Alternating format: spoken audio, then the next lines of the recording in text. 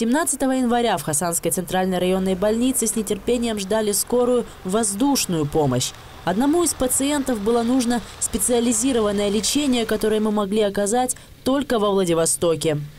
Данный больной нуждается в специализированном лечении, а именно в нахождении в отделении торакальной хирургии э, города Владивостока, так как э, те оперативные вмешательства и лечение на данном уровне мы не можем выполнить, так как больница у нас не такого все-таки уровня, как город, поэтому он нуждается в транспортировке. Наша задача на месте стабилизировать больного, привести его все функции организма на должный уровень, э, подготовить, грубо говоря, больного к перелету. У самого пациента готовность к перелету стопроцентная.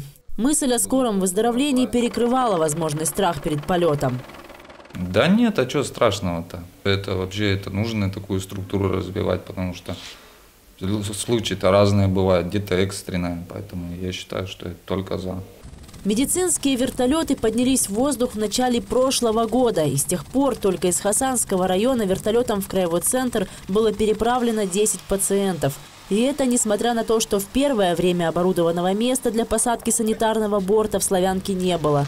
Но осенью руководству больницы с помощью районной администрации удалось построить новую вертолетную площадку. Качество посадочного места пилоты оценивают положительно. Практически идеальное, мне нравится. Условия подхода хорошие. Вот со стороны больницы можно зайти, со стороны со самой Славянки. Но здесь небольшая сопочка, и то вертолет позволяет сесть. Вертолеты санитарной авиации могут садиться практически на любую поверхность, от дороги до лесной опушки. Ведь их главное предназначение – спасение людей труднодоступных местах. 1 января, ну, многие слышали, вот в Пластуне была авария автомобильная, вывозил э, молодого человека в коме. 2 января ребенка привез, э, ошпарился кипятком, мама не уследила. 3, 3 января э, инфарктник – 4 января Северов со Светлой. Ну, видать, побили человека, и человека полностью парализовало. Оборудованная площадка для посадки – это дополнительный комфорт не только для пилота, но также для медиков и самих пациентов. Ведь даже в небе пилоты стараются обеспечить больному человеку комфортное перемещение. Чисто по-человечески везем очень аккуратно, чтобы больной не испытывал дискомфорт. Вот. Поэтому вертолет позволяет. Машина очень хорошая, я вам так скажу. Во всех условиях летает и себя показывает с лучшей стороны.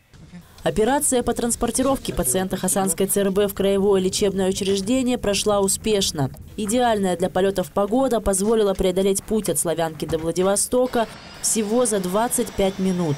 А в случаях, когда счет идет на минуты, такая скорость оказания помощи может действительно спасти много жизней. Юлия Ульянова, Олег Кудинов. Новости Славянки.